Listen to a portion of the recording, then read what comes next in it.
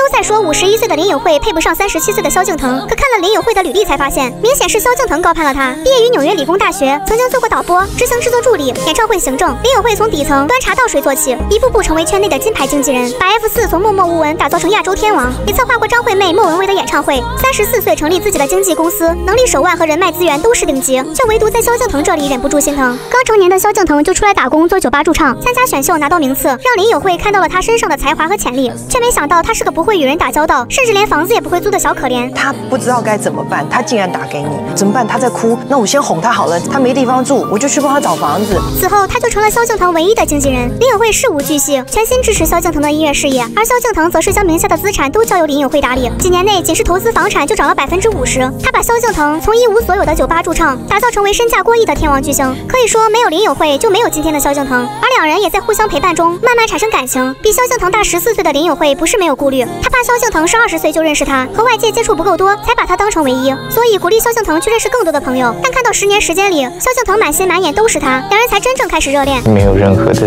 年龄上面的问题，我只有怪他说你为什么要这么早出生？你等我会不会等太久？萧敬腾的事业，林颖慧一直不允许他公布恋情。因为我二十几岁就跟他说了，我想公开我们之间的事情，但他就一直拒绝我，我就一年一年的在等等等等等。直到林颖慧四十九岁的最后一天，萧敬腾无法再等下去，终于公开向她求婚。嫁给我吗？